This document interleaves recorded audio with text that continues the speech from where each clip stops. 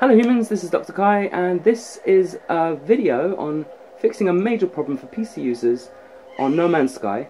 What is the problem? The problem is basically any kind of video capture does not work in that you get massive freezing, massive skipping, massive stuttering and it basically is unworkable. Um, and that includes using the Steam Link, which basically captures the game and streams it to your devices. It includes Let's Play videos.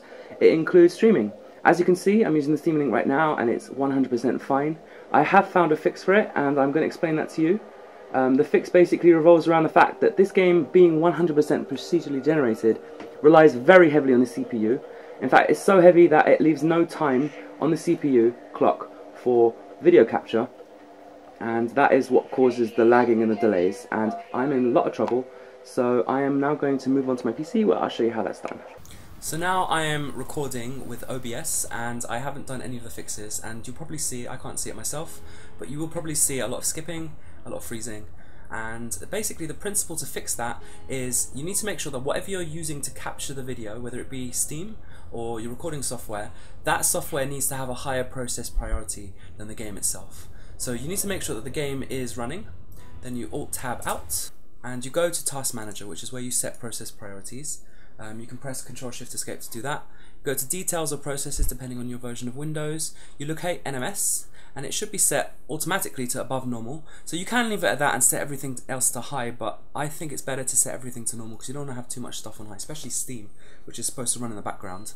Um, and so yeah, for streaming to the Steam link, you need to set Steam to now not normal but above normal, so it's higher than No Man's Sky. And the same with OBS or whatever your recording software is. Um, and now that we've done that, let's go back into the game, and you should find, now again I can't see it, but you should see that this is now running 100% smoothly. Now, if it's still a problem, you ought to Tab out again, you go to your recording software you go to the settings and you make sure that it's set to something slightly lower than the maximum. NVIDIA NVENC is definitely less resource hungry than X264, so use that. Maybe set the quality balance down a bit, set the FPS down a bit, play about with the settings, and try and get something slightly less quality, but definitely it should help with your recording.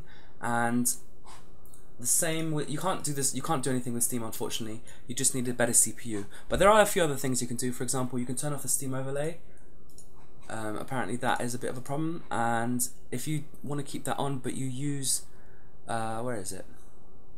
In-game FPS counter turn that off because even when you're playing the game not recording it that will cause lots of tearing in it it doesn't look very good so turn that off. Um, and you're going to want to run into one last problem in that anytime you restart any of these applications their priorities get reset. You can't do anything about that with Task Manager. So I downloaded a program called Process Hacker which is free and definitely not malware and that gives you the ability to basically save save for nms.exe so that's set to normal and it's set to save. Whenever this program is running um, it will automatically set the priorities. You don't need to do anything. So just leave that in the background. I'm going to close that before I die by the way. So yeah again what you do is you right click your program go to priority um, and you just make sure that's ticked save for obs.exe and click OK just make sure that's running and everything is set as normal and you are hunky-dory so yeah, there are some other fixes on the Reddit. Um, the Reddit for No Man's Sky, the second sticky, I believe, has a bunch of things that you can use to improve your performance. But otherwise, get a better CPU. Or just accept the fact that the game is heavily bugged and there's something wrong and you can't fix it and you should go and write an angry letter to Hello Games and hopefully they will fix it. But hopefully this is going to encourage Hello Games because loads more people are now going to be streaming the game, they're going to be showing it off to their friends in their living rooms with the Steam Link and it will all be successful and happy and so long humans. To the heavens to see what secrets they hold. Join me as i sail amongst the stars